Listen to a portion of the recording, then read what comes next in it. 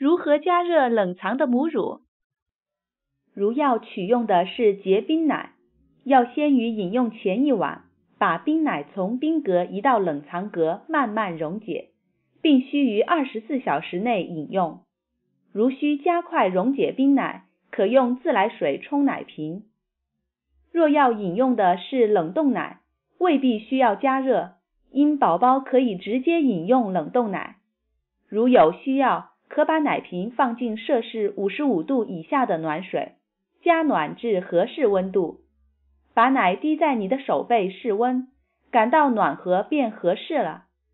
加暖后的奶需于一小时内饮用，切勿用微波炉或者主食炉加热母乳，过热会破坏母乳的营养。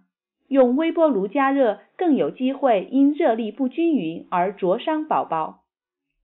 冷冻后的母乳会有分层现象，最上层是脂肪并呈淡黄色，这是正常的，并不是变坏。喂哺前把奶摇匀便可。